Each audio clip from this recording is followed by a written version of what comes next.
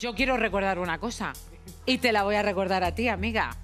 Porque resulta que yo hice una preselección de Eurovisión. ¿Tú te acuerdas? ¿Y tú que me votaste a mí? Que no. Un no como una casa. Y a mí se me subió la ceja aquí detrás.